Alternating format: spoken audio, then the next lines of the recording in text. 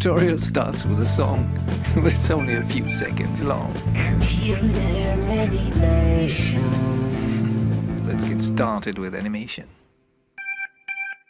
Hello folks, here you see a particle, that's the orange one, emitting particles, the blue ones. What is special about this rendering? Well, it has to do with the scene size. The scene size here looks tiny, like uh, molecules in a human body, for example, in the bloodstream. And uh, you might actually be able to use this for in such a context. Uh, the reason why we feel that it's tiny is because we have that very strong depth of field effect. So the rendering does a depth of field which is very, very narrow. This is in focus, but the following particles are not. And uh, all these things are left behind. When you do rendering with motion blur, you see a lot of grain and you have to tweak the render settings, the anti-aliasing is special, to get rid of them, but uh, actually they can be quite nice indeed. Before we create a new scene and I show you how to achieve this effect, uh, let me remind you of two tutorials which have nothing to do with this. I just want to recommend you uh, to watch them because uh, I like them so much. One is about the uh, motion capture gloves uh, which is an affordable technology these days. And the other one is about creating objects in Maya or in other 3D programs and then bringing them into the real world, a real 3D print. Okay, the image uh, which we've seen rendered here with depth of field is this one. It looks so crude and simple. And uh, when we run the simulation, this is how it goes. The particles shoot from that N sign, it's a stands for nucleus. They shoot to the right and they emit lots of particles.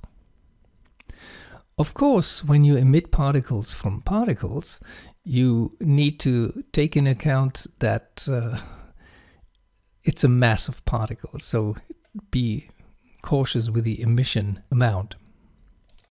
We start with an n particle and we find the n particles here under rendering fx because it's a special effects thing. n particles and we create an emitter. We don't emit from an object, we just create an emitter which sits in the center of the scene. It emits particles of which fall down and they are little dots and we need to change a few things which are all pretty straightforward. Just uh, follow me here. First of all, we have in the attribute editor, if you don't have that open, Control A opens the attribute editor, uh, this whole window part here, uh, and we don't want to have them shooting uh, down.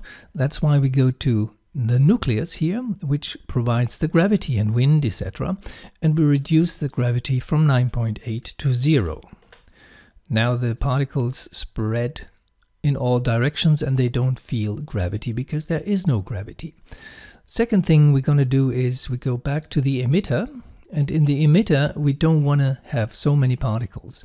Let's reduce them to 2 instead of 100. Now we have an emission of only very few particles which you see in the center of the scene. Next thing we want to, in, in order to get a clarity here, we want to shoot them into a direction, for example, the right direction. The direction is sitting here, direction X is set to 1, so they shoot to the right. They currently live forever, and that's the next thing we're going to do. We go to the particle shape. If you don't find this here, it's here, n particle, and here's the particle shape. Uh, here we change things in, uh, well, I think three menus. One is the shading.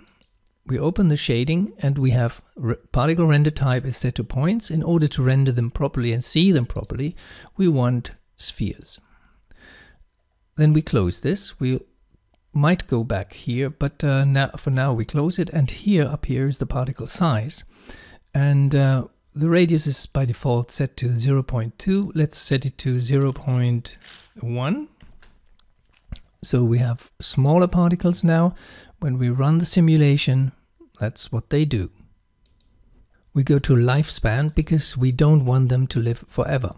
So we can change it to, from live forever to random range.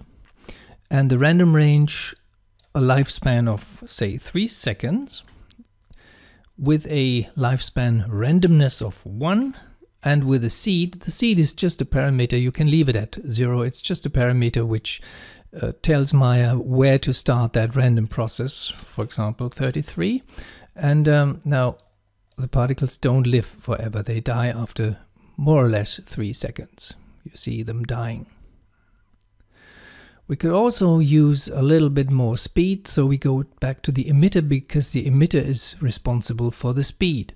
Where is the speed? Here under the emitter tab. The speed is set to 1, let's set it to 2.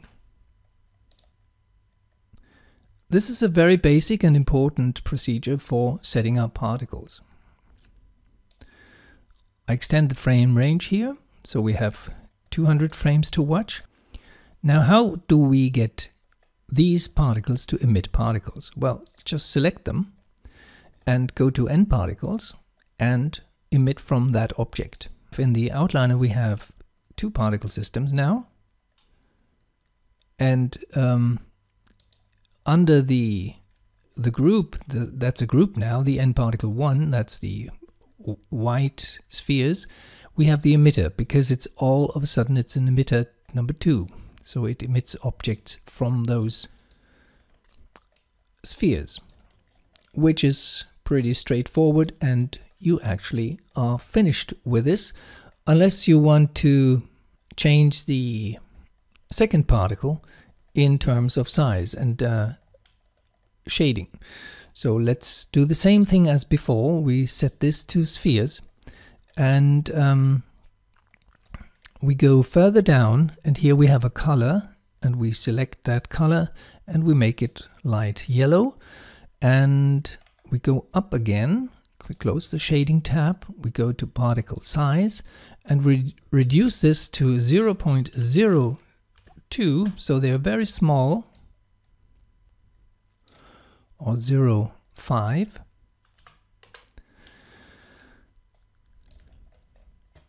And you see they are sort of unpredictable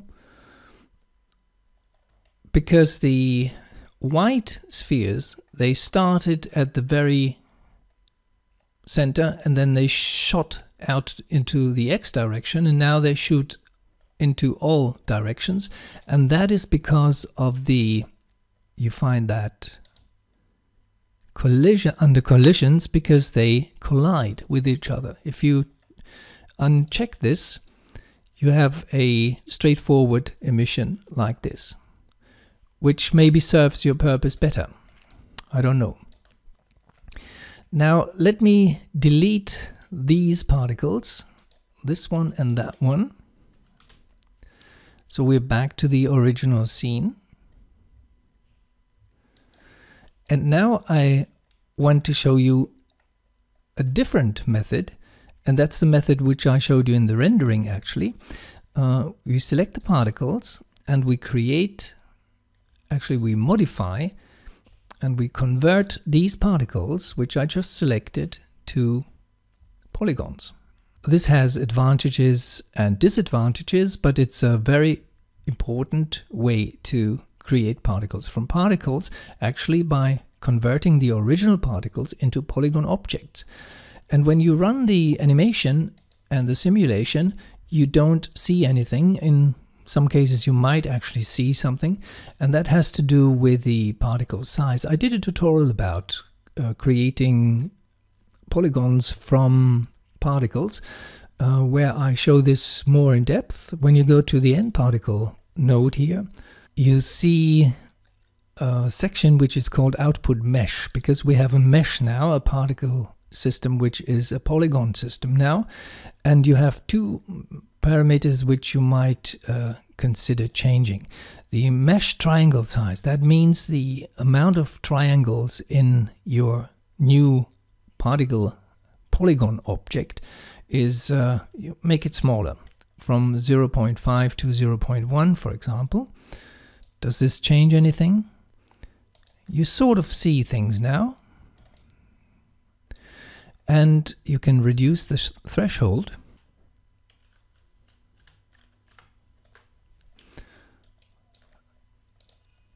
And now what you see is polygon objects.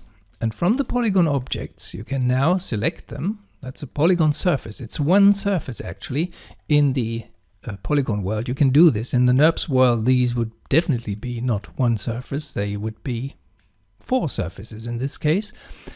Uh, by the way, they behave the same way as the particles we created in the first place, so they die after a certain time. And now I have uh, selected them and um, I emit from that object. Same thing as before, but now we're creating particles from these spheres. And you see they behave totally different from what we've seen before because um, of the interaction and the collision of these particles. Very interesting system again. And um, this concludes the two basic methods in the n particle world how to create particles emitting particles. Of course, you can emit the particles from the particles from the particles, etc. When I prepared this tutorial, I thought about creating particle emissions from particle emissions using the Bifrost graph methodology, which is under Windows, and it's the Bifrost graph editor. And in the Bifrost graph editor, this looks very complicated, but it's very simple actually, and it's the I think, to me, a beautiful method to emit particles from particles, but I leave that to another tutorial which I publish pretty soon. Have a nice day. Bye bye.